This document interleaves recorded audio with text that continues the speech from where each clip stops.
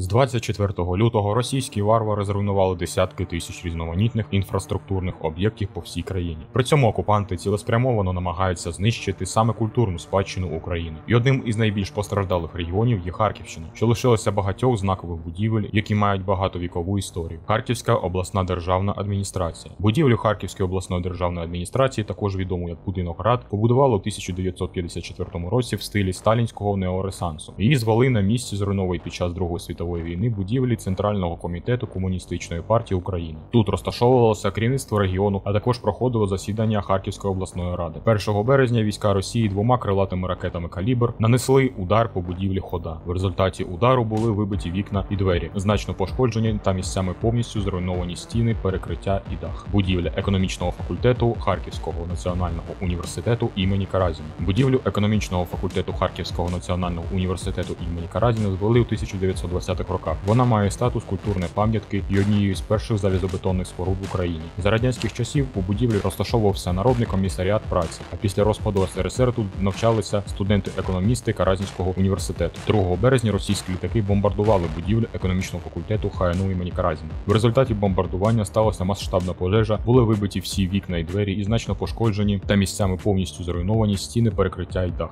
Палац праці. Палац праці побудували у 1916 році в поєднанні стилів модерну та неокласицизму. Будівля є особливою в архітектурному ансамблі майдану конституції і вважається незвичним урбаністичним проектом початку ХХ століття. Спершу це був прибутковий будинок страхового товариства. Після захоплення влади в Україні більшовики націоналізували будівлю. Відтоді тут розташовувалися Всеукраїнська рада профспілок і народний комісаріат праці. Після чого будівля отримала свою сучасну назву Палац праці. 2 березня армія РФ нанесла ракетний удар по палацу праці. В результаті удару були вибиті вікна і двері, значно пошкоджені та місцями повністю зруйновані стіни, перекриття і дах. Харківський апеляційний суд. Будівлю Харківського апеляційного суду звели на перетині 19 та 20 століть стилю неоресансу з рисами італійських палаццо. Спершу це був будинок судових установ. Площа його приміщень становила понад 7 тисяч квадратних метрів. Тому будівля стала найбільшою у місті на той час. З приходом до влади більшовиків тут розміщувалися численні воєнні установи, і тільки після реставрації 1946-1954 років в будівлі почав працювати апеляційний суд. 6 березня російські літаки бомбардували будівлю Харківського апеляційного суду. В результаті бомбардування були повністю вибиті вікна, суттєво пошкоджено внутрішні приміщення, згорів дах. Меморіальний комплекс жертвам Голокосту Дробицький Яр. Меморіальний комплекс жертвам Голокосту Дробицький Яр побудували у 2002 році. Він складається з пам'ятного знаку у вигляді 20-метрової минори, алеї і тротуарної зали із чашою скорботи, де викорбовані імена загиблих. Сам Дробицький яр є урочищем, в якому нацисти під час окупації Харкова масово розстрілювали євреїв, ромів та інших жителів міста. 26 березня рашисти обстріляли меморіальний комплекс Дробицький яр. Снаряди влучили в минори і постамент, значно їх пошкодживши. Пожежна частина з Каланчею. Одну з найстаріших у місті пожежних частин з Каланчею звели у 1887 році. З тих пір будівля виконала своє стратегічне призначення протидія масштабним пожежам у Харкові. Тут розміщувалися пожежний підрозділ, районне відділення державної служби з надзвичайних ситуацій і дослідно-випробовувальна лабораторія. 28 березня армія РФ вдарила ракетами по будівлі пожежної частини з Каланчею. В результаті обстрілу були повністю вибиті вікна, пошкоджені дах, фасад і покрівля. Садиба Павлових. Садибу Павлових побудували у 1832 році в класицистичному стилі. Спочатку будівля належала місцевим чиновникам Павловим. На першому поверсі розміщувалися кімнати господарів, гостьові покої, кімнати прислуги і господарські приміщення. А на другому влаштовувалися прийоми, звані вечері та бали. Через деякий час садибу перетворили на готель. Однак у вигляді готелю будівля проіснувала недовго. Після жовтневої революції більшовики використовували садибу в якості штабу для частин особливого призначення. Згодом тут облаштували військомат. 6 липня росіяни вдарили ракетами по садибі Павлових. В результаті удару будівля була повністю знищена і тепер підлягає знесенню. Таким чином, неозброєним оком спостерігаємо основну мету окупанта.